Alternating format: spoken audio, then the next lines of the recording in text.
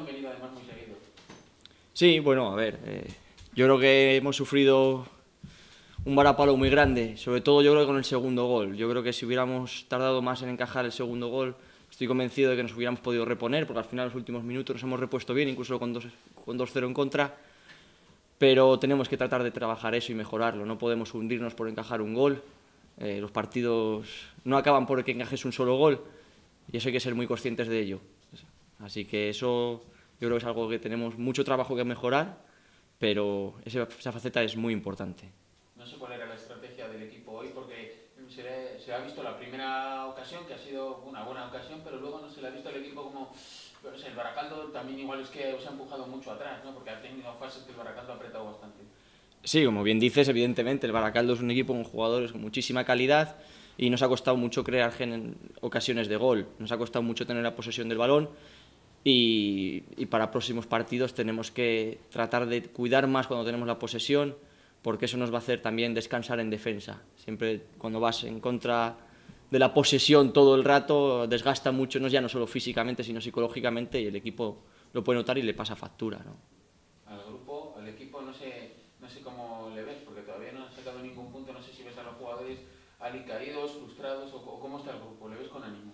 No, yo veo, yo veo al equipo con ánimo, yo veo al equipo con ánimo, yo veo al equipo bien, y yo creo que el equipo es capaz de reponerse. Yo ahora mismo vengo del vestuario y evidentemente los jugadores están dolidos y ahora pues justo después de la derrota están cabizbajos, es normal, es lógico y más si miras la clasificación, pero yo sigo creyendo en este equipo, es una de las razones por las que acepté el reto y yo creo que eso no, no va a hacer que, que desistamos. Tenemos que seguir y encima tenemos la suerte ahora mismo de que en cuatro días tenemos otra oportunidad.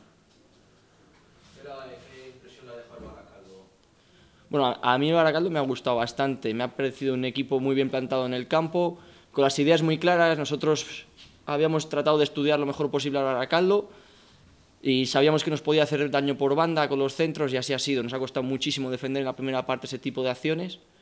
Y la segunda, yo creo que la lástima ha sido encajar los goles tan temprano, pero aún así han seguido fieles a su modelo de juego y yo creo que eso para un equipo siempre es de alabar.